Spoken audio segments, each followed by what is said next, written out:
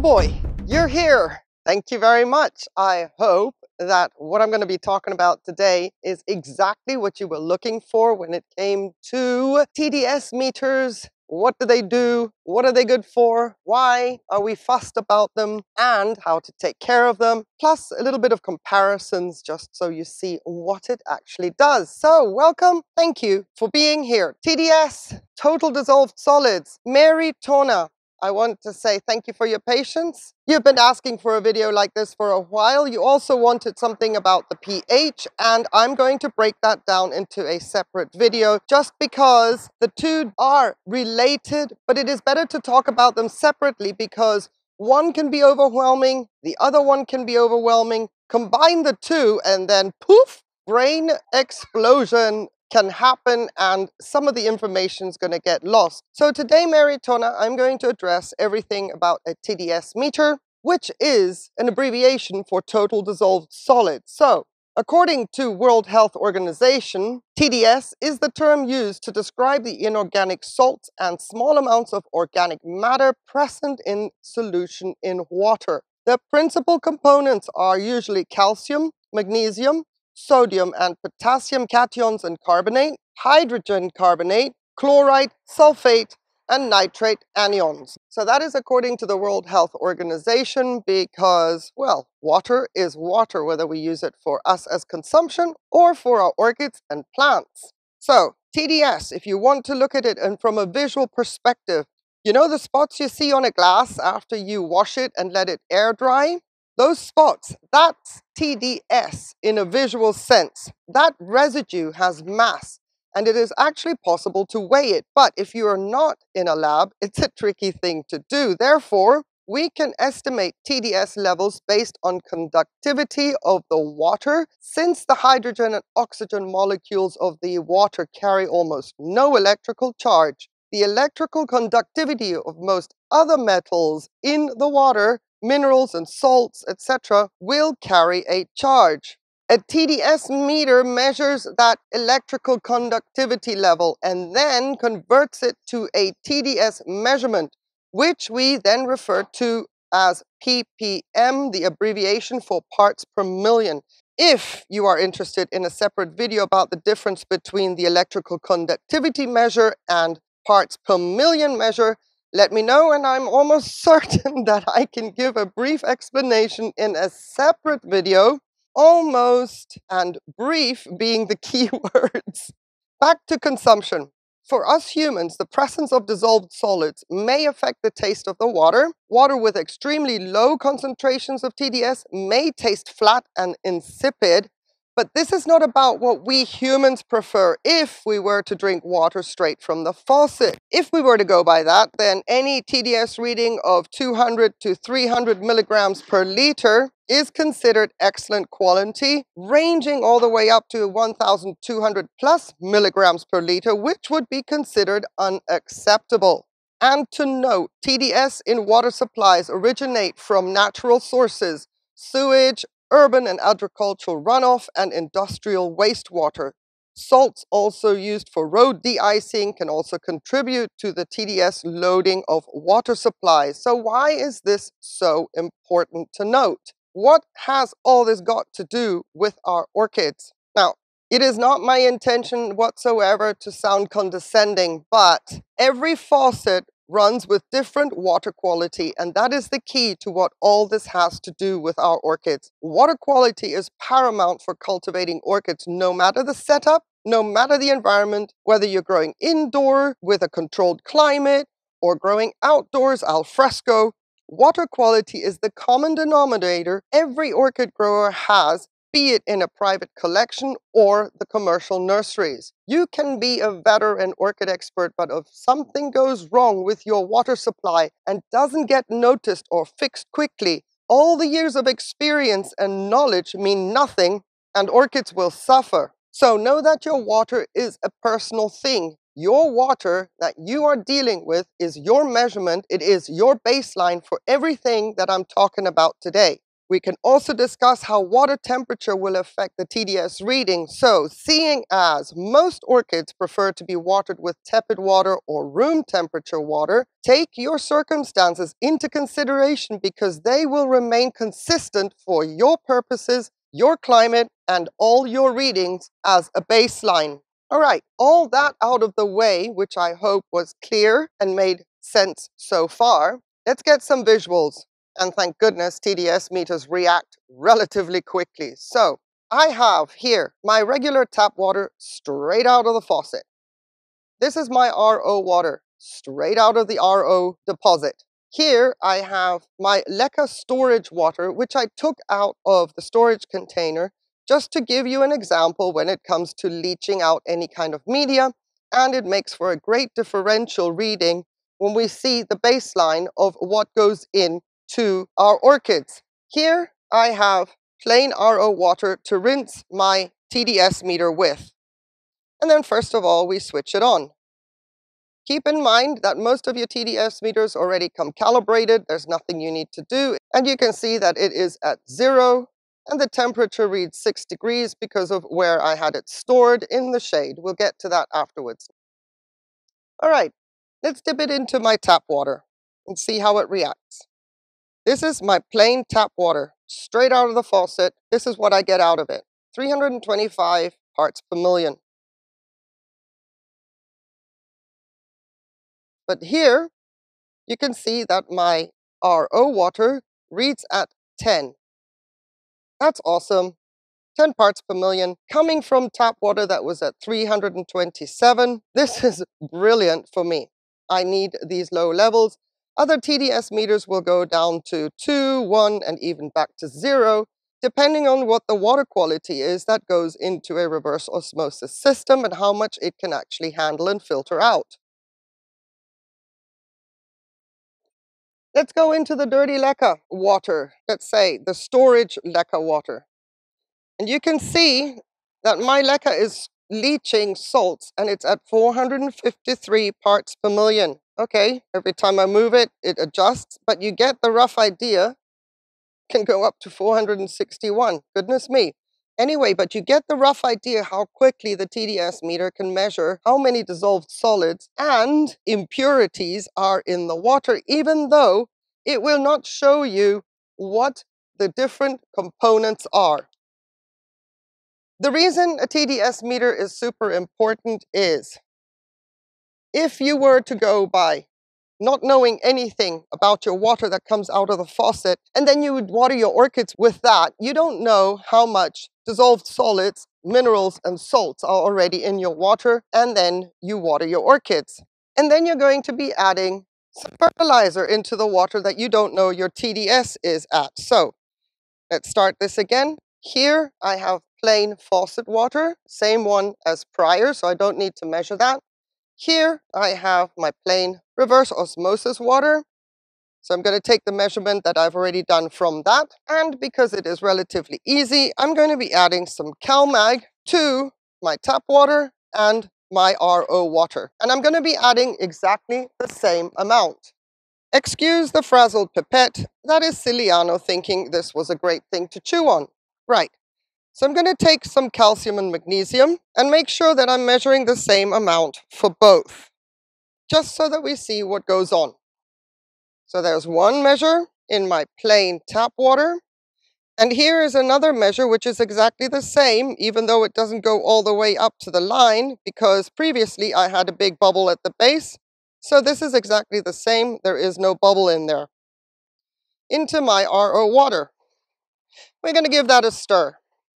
And we're going to give this one a stir.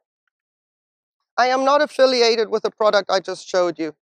This is an example. It'll work for your fertilizer. It'll work for any kind of supplement that you put into your orchids, the seaweed, the CalMag, anything. If you're not sure, this is going to work for anything. I'm just using my CalMag because it's liquid, it's quick, I don't have to wait for it to dissolve. Now, we're going to switch our TDS meter on again, and we're going to go down to our baseline, which should be zero. However, these margins are so minute that I'm going to take this one parts per million and put it into my regular tap water. And there you see how my TDS has shot up. and keeps going up. And the more I wiggle it, the more it adjusts. But for the purpose of demonstration, I am now at 540 plus parts per million, no matter where it decides to settle. 540. Okay. We're at zero. Let's give it a goo into the RO water. And here I now have a reading of 308, 309 parts per million in my RO water. Okay, so what does all that mean? Well, if we don't have an idea about our parts per million in whatever water we're using, and then we are adding our fertilizer and all that good stuff for our orchids, if I didn't know what my baseline was with my tap water, I would be putting parts per million when I water my orchids. When it comes to my RO water that had a lesser TDS to begin with, and then I added the CalMag or whatever it is that I wanted, same amount, I will be adding 319 parts per million into the pot or the mount as I water my orchids. That is a lot. And that is why ppm is so important to measure. Measuring the baseline, what is in the water, is it good enough for the orchids or are there far too many minerals already in the water? Us adding our fertilizer or supplements on top of that and all of a sudden the parts per million numbers are off the charts. The runoff water that orchids receive out in nature is never in a million years that concentrated the reason we want to make sure that the water that we use for our orchids and the total dissolved solids are minimal or only to what the orchid is consuming is so that we don't have mineral buildup on the top of our media salt accumulation around our roots because that would cause root burn and it brings all sorts of problems with it. And a TDS meter is one of the easiest things that you can read. And yes, that segues into pH because that would be the next step but again, that's going to be a separate video because what I'm trying to do is break down each individual component so that when we've nailed the one, the next one is another building block that just slides into place very, very easily without a lot of confusion. And I hope that I have achieved that with this video. Let me tell you, that wrapping my head around this, all the information I was trying to gather, has been one of the biggest challenges because I come from a history of growing orchids on trees and nature took care of the rest.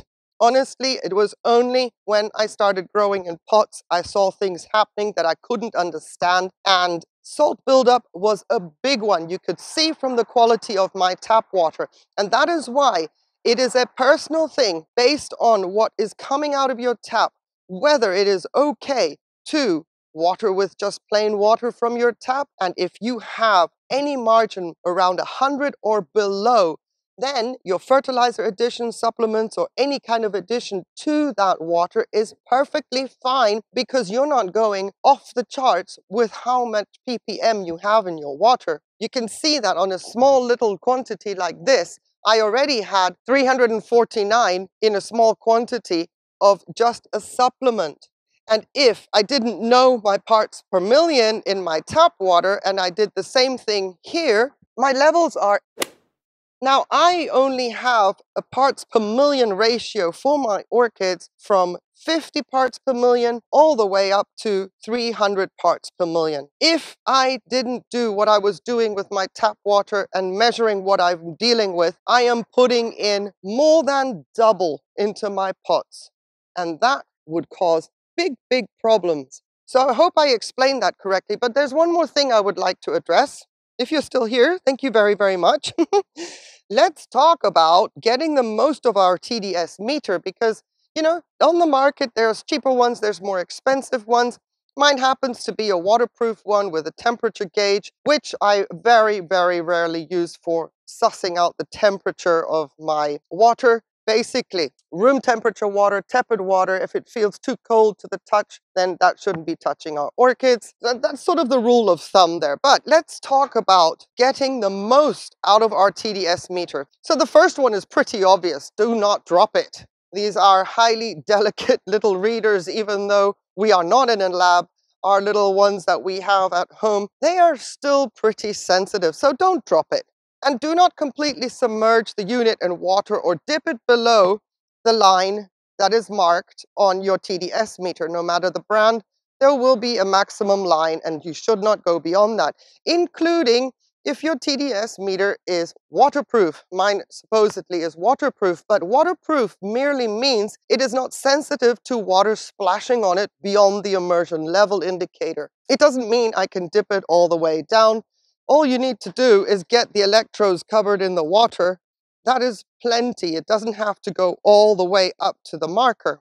Also, do not store the unit in high temperatures or direct sun. It will shorten the lifespan of your TDS meter. And after repeated usage, it is advised to clean the electrodes to prevent residue buildup. So yeah, you might be sloshing around and cleaning up an RO water or the cleanest water that you've got over an extended period of time, but we're talking minute, minute microscopic particles. So these electrodes can get coated with residue and they can build up over time. On a day-to-day -day basis, you can do what I just did, slosh it around in the cleanest water that you've got, whether it's reverse osmosis or water from your tap, whichever water is the cleanest, and put the cap back on and store it away. And then every once in a while, clean the electrodes, and you can do that by soaking them in vinegar for approximately 10 minutes, and then rinse off again with clean water, and store until next time you need it. If your electrodes look really, really bad, they have a tarnished look about them because sometimes you might be using your TDS meter to measure your parts per million of seaweed, which has always got this sort of nasty brown tinge to it. But if it's really, really bad and you haven't cleaned your electrodes, at least let's say, let's give a margin once a month with some vinegar, then it is possible to soak the electrodes in alcohol or bleach. That may help, may there's no guarantee, but it is not advisable seeing as these are so much more aggressive. A very, very soft little cloth, microfiber cloth or something can also be used to wipe off the electrodes, but touching those electrodes, eh, I would avoid it. So best practice is a little soak, 10 minute soak of just vinegar will clean the electrodes of any kind of residue buildup and you're much safer that way than going to the extent of using alcohol or bleach. And remember that battery levels may affect the readings, so bear in mind how long you have had your TDS meter and make sure that the battery levels are still up to speed because as they deplete, so does the accuracy of the reading. Having stared at my containers of water all this time, I wonder if this was helpful. I wonder if I managed to strip down the subject of TDS ppm to the skeleton of what it is. It is not something that should make anyone feel overwhelmed when they hear people talk about TDS and ppm. And if you still feel overwhelmed after this video, please use the comments below and I would be very, very happy to write things down and try and find a better way to make it as simple as it actually is.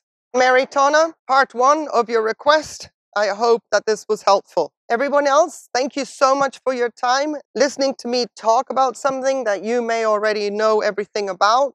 If I've missed anything and you feel it is important to add that, please add that in the comments below for the benefit of everybody else. I appreciate it so much and thank you in advance. Now, all that's left for me to say is have yourselves a beautiful day, please. On one condition, though, that you stay safe. Take care.